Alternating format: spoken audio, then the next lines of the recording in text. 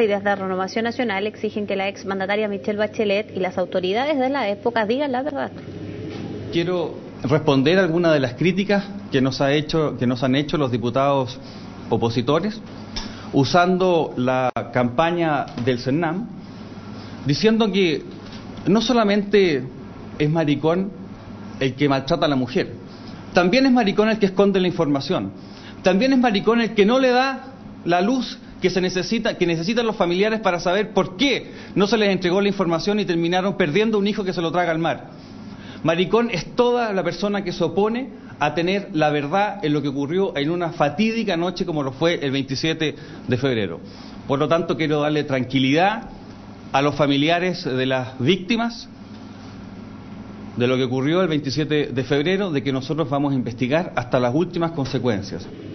Por su parte, la diputada Carla Rubilar se refirió a las amenazas que han formulado algunos parlamentarios de la oposición de eventuales protestas durante el discurso del 21 de mayo. Frente a las amenazas de que va a haber disturbios, que va a haber violencia, que va a haber protestas en este 21 de mayo,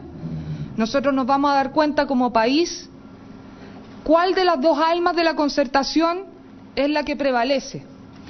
Si el alma republicana, democrática, que gobernó durante 20 años y cada 21 de mayo llamaba a respetar esta institución?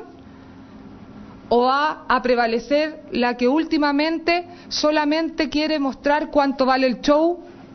quiere un minuto de televisión, un minuto de cámara y quiere lamentablemente destruir lo que nos ha costado construir entre todos, que es el respeto por la democracia?